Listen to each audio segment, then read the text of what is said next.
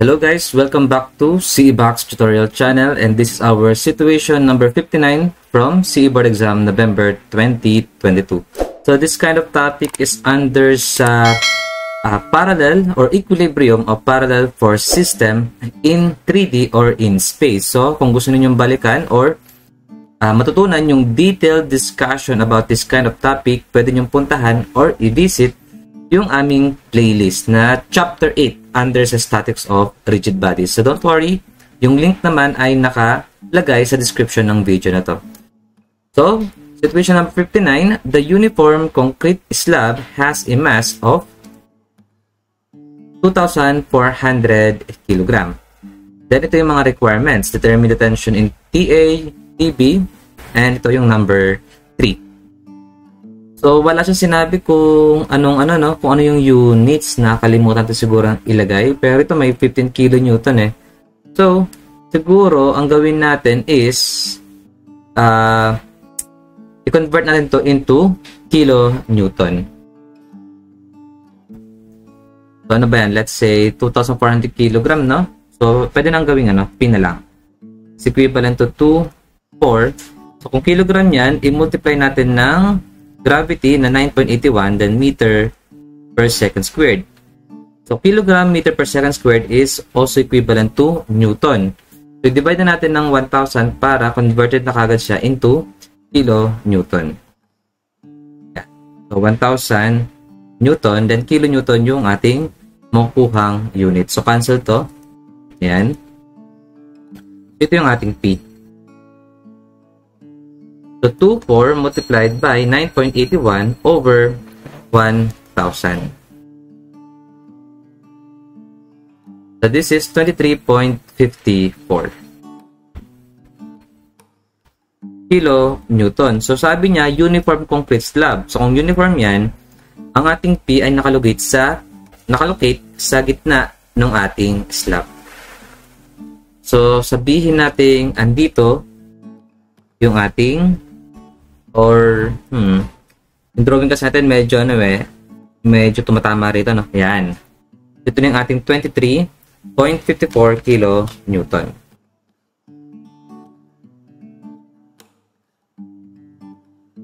Tapos, merong given na 15 kilo raw na nasa 0.5 from x-axis and uh, ilan to? 3 meters from the y-axis. So number 1 na tayo. Determine the tension in cable PA. So palitawin natin lahat ng internal forces ng mga to. So this is our tension force for A, tension force for B, and then tension force for C. So dun sa aming mga discussion sa playlist namin under sa equilibrium of force system in 3D, kailangan matuto kayong ano, mag-moment about an axis. So dito, uh, medyo mahirapan tayong isolve ng basta-basta yung TA eh. Tapos kapag nag-moment tayo dito sa point P, ayan, about y-axis, ang iikot sa kanyang unknown ay TC, tapos yung TA. So, two unknowns yon So, hindi pa pwede. So, ang gawin natin para mas madali is mag-moment tayo sa point B or point A, magkatapat lang naman sila with respect to x-axis or about x-axis. Ayan. So, dito tayo mag-moment. So, summation of moment at a-axis about, sorry, at A about x-axis is equivalent to 0, then clockwise is positive. Ang iikot lamang na unknown sa kanya dyan ay yung TC. So, malusod na kagad natin ang TC. So, ang ikot ng TC about x-axis is, is counterclockwise. So, negative TC then multiplied by moment arm na 2 plus 0.5 that is 2.5. Ang ikot ng 15 kN naman ay clockwise about x-axis. So, that is positive 15 then multiplied by moment arm na 0.5. And then yung 23.54, nasa gitna yan, di ba? So, nasa gitna siya ng 2.5. Ilan ba yon?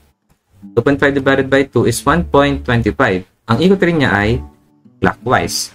So, positive 23.54 then multiplied by 1.25 is equivalent to 0. So, ma-solve natin ang TC. So, TC is negative x, then multiplied by 2.5 plus 15 times 0.5 plus 23.54 times 1.25 is equivalent to 0. So, ang sagot sa TC ay 14.77 kilo. So, nakuha na natin ang TC ngayon. So, pwede na tayong mag-moment kanina sa point B with or, with, or about y-axis. So, nasan yun? Andito sa point B natin. Ayan. Tapos, dyan tayo iikot about y-axis. So, this is a moment about x. This is moment about y. So, summation of moment at P about y-axis is equivalent to 0. Clockwise is positive iikot ang TC ng clockwise na may value na 14.40 uh, 14.77 ang moment arm niya ay kalahati na to no nung 4 meters so that is 2 meters yan tapos ang TA natin iikot ng counterclockwise so that is negative TA then multiplied by 2 meters ah yes by the way kung napapansin nyo rito hindi nyo na pwedeng ano ah gawin yung ginagawa nyo dati sa equilibrium of parallel force system. Ang ginagawa kasi ng iba, equal daw ang TA, uh, ah, I mean TB, TA, and TC. Kasi sila lang naman yung magdadala ng 23.54 and ng 15 kN. Magkaiba to. Bakit? Kasi uh, hindi hindi kasi symmetrical yung mga support natin. Kaya hindi sila equal ng dadalhin. Isa pa, hindi rin symmetrical yung mga loadings natin. Kaya talaga magkakaiba yung mga value dadalhin or i-carry ng TB, TA, and TC. Kasi mamaya i-assume na naman ninyo na ang TA, TB, and TC ay equal sa isa't isa. So, kailangan talaga eh, mag-undergo kayo sa ganitong solution. So, i-prove natin na so, nasa na pa tayo? Okay, yung 15 kN iikot ng counterclockwise.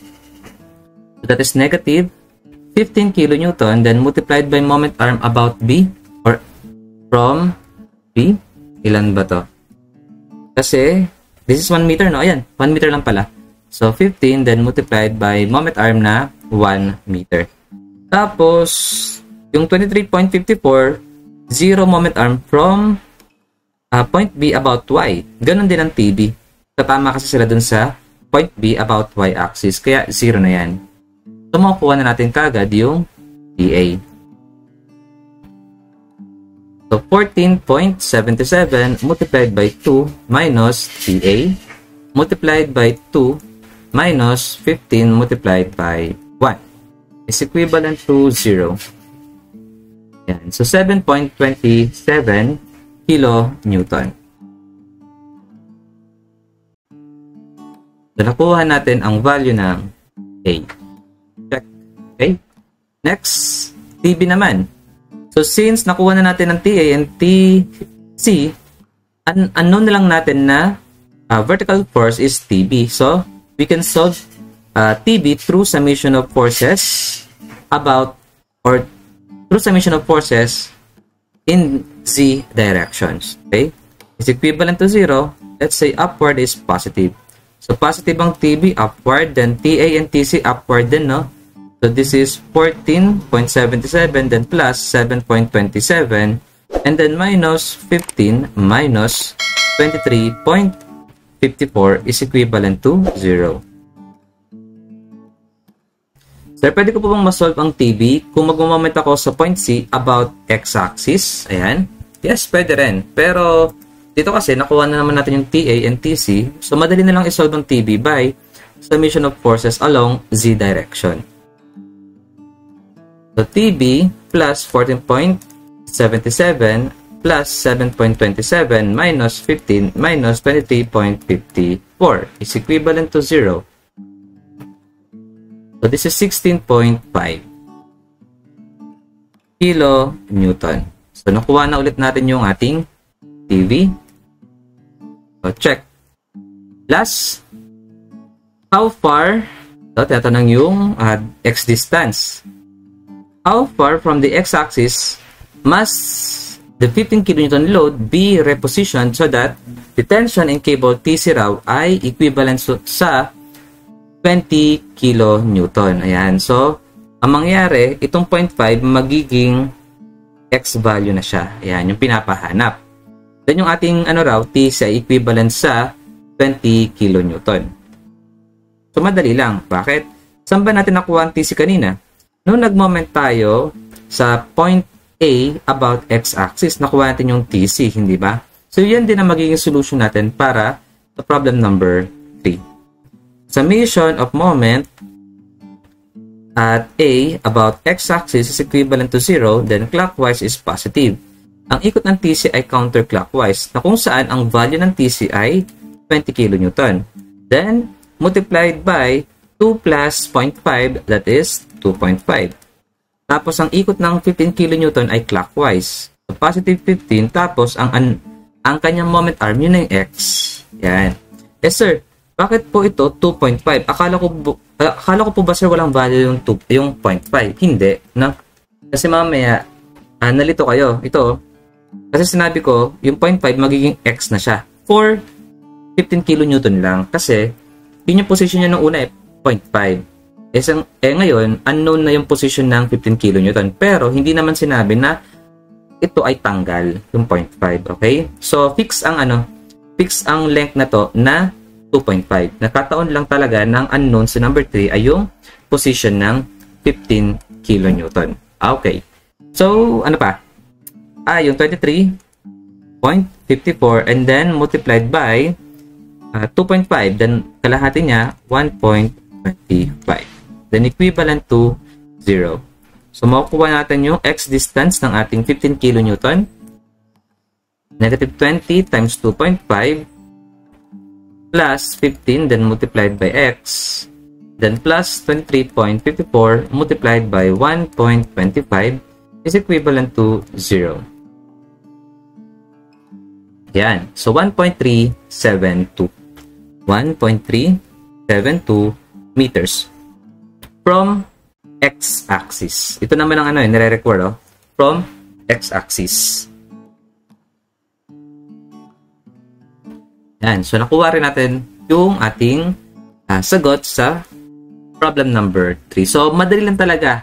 Actually, ang topic na equilibrium of parallel force system in 3D. Kasi ang ginagamit lang natin dyan ay dalawa.